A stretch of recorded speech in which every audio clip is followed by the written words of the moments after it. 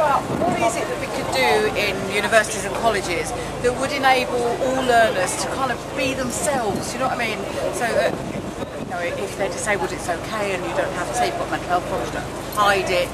If you're gay, you don't have to What is it that we could kind of do um, that would make that happen? So, I don't know, a top tip for it or your best idea for it? To be honest with you, I have no idea. Okay, are you at university at the moment? I am, yes. And I what are you doing? year business management. Okay, and how are I'm you on- finding that? Well, uh, getting on well. Um, I'm more into business sort of stuff, Okay, uh, creative-wise, thinking-wise.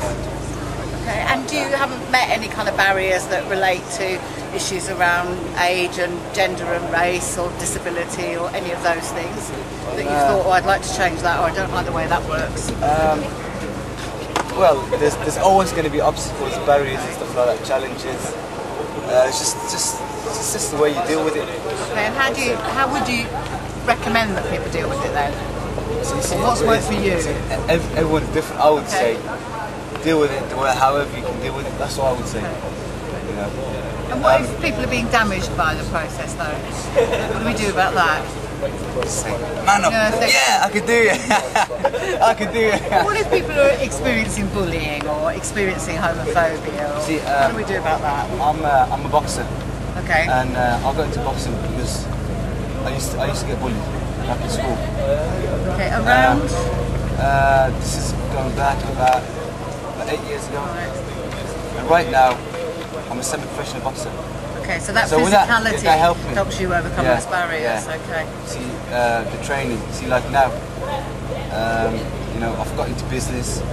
Um, if I if I didn't get bullied, right now I own five properties. Right. Okay. I own five on my own name, which I bought myself. So if I didn't get bullied back then, I wouldn't have all this now. now. So you think it's given you the incentive? Yeah, yeah, that's right. Right. And is that so? That kind of you trying to change those barriers has kind of given you that sort of social mobility goal as well, has Yeah, it? Then? yeah. Okay, so that's unusual. Is it unusual for your family, for example, for you to own property or Uh, come to university or?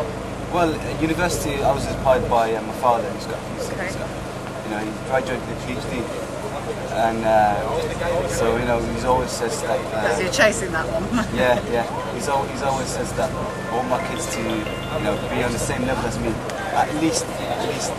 to do better. Yeah, to do better, okay. yeah. So a bit of pressure too. Yeah. So okay. you know, if, if it weren't for that, I wouldn't have gone to university. And, and no, is it is it because you're different at university that there's no sense of bullying there, just that- or is it because university is also different? People are different at university It's now. just, it's just that um, I think.